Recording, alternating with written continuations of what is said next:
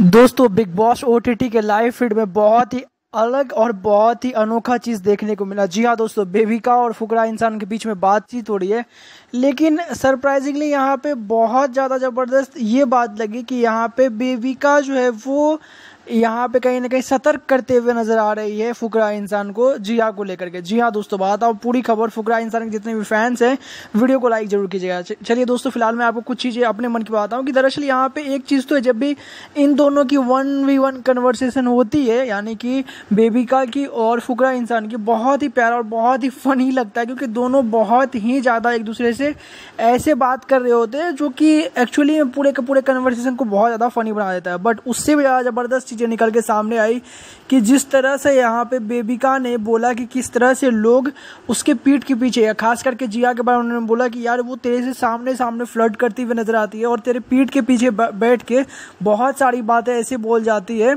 जो कि उसको नहीं बोलनी चाहिए और वो साफ़ साफ़ नज़र आता है कि वो तेरे से अट्रैक्टेड नहीं है, वो तेरे ऑडियंस से अट्रैक्टेड है और तेरे को जानबूझ के वो इन्फ्लुएंस कर रही है अपनी ओर अपनी ओर अट्रैक्ट करने की कोशिश कर रही है।